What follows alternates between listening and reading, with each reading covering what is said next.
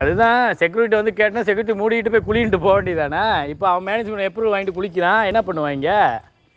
ஆ? அதான் நான் சொல்கிறேனே உனக்கு போலீஸ்னு நினைப்பேனே நான் இப்போ இவங்களாம் இந்த பிரச்சனை முன்னெடுத்து கொண்டு போயிட்டு இருக்காங்களா அந்த குடும்பத்தார் வந்து நஷ்டஈடு வாங்கவே கூடாது திருமா அவனுக்கு வந்து தண்டனை கொடுக்கணும்னு கேட்கணும். நஸ்தீடுன்றது வாங்கவே கூடாது. வாங்காட்டினா நான் சல்யூட் பண்ணுறேண்ணே நான் நிறைய விஷயம் பார்த்துட்டேண்ணே. மொதல் புயா புயா புயான்னு கத்திட்டு இருப்பானுங்க. அப்புறம் கோர்ட்டுக்கு வெளியே சமரசம் பண்ணும்போது காசை வாங்கிட்டு அவன் தெரியாமல் போயிட்டே இருப்பான். கடைசியில் மங்சா நம்ம தான் உலகத்தை புரிஞ்சுக்கிங்க. சரியா? ஆ? அதாவது பாதுகாவலருக்கு என்ன எஸ்ஓபி அது மட்டும் தான் ஃபாலோ பண்ணணும். ஆகியெல்லாம் பண்ணவே கூடாது. ஓகே? இப்போ ஒரு கொண்டோவா ஒரு கம்பெனியா எதாக இருந்தாலும் சரி.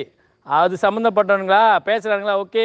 மாசோ இன்ச்சே மாசோ அவ்வளோதான் மேனேஜ்மெண்ட் கேட்டாக்கா அது வேலை எனக்கு இல்லை. நீ போய் அவன்கிட்ட பேசிக்கணும் அவ்வளோதான் இப்போ என்ன பிரச்சனை நடக்குதுன்னா இந்த ரேலாவும் சரி இந்த பாதுகாவலரும் சரி அவங்க வந்து ஒரு போலீஸாகவே அவங்க நினச்சிக்கிறாங்க. ஆ அதுதான் இப்போ மெயினான பிரச்சனை. அவங்கள லிமிட் என்னென்னு அவங்களுக்கே தெரியும். ஆனால் பந்தா. அதுவும் நம்மளவங்கிட்ட தான் ரொம்ப பந்தா பண்ணுவானுங்க. எது நடந்ததோ அது நன்றாகவே நடந்தது. எது நடக்க போதோ அதுவே நன்றாக நடக்கும். காசு கிடைத்தவுடன் எல்லாமே பறந்துவிடும்.